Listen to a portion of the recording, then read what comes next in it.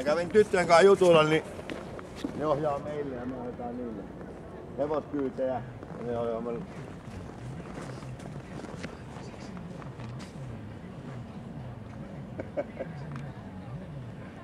Kroko,